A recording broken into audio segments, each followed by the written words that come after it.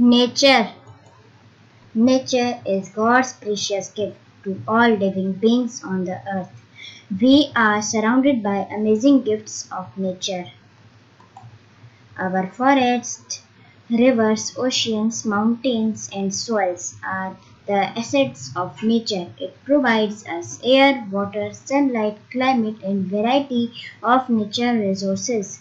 Thousands of creatures living on this planet are also part of the beautiful nature. Nature is essential to our lives. Everything we need to survive and thrive is provided by the natural world around us such as food, air, fresh water, rainfall, medicine, clothing and shelter. Nature also provides us raw materials and contributes to our economy. Today, human beings are slowly destroying the beauty of nature.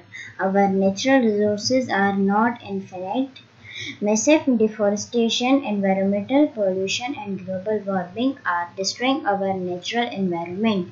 We must take drastic steps to protect and conserve nature. It is everyone's responsibility to save the nature around us. We must strive to protect our nature by planting more trees and stopping deforestation and pollution. Mother Nature has made life possible on earth.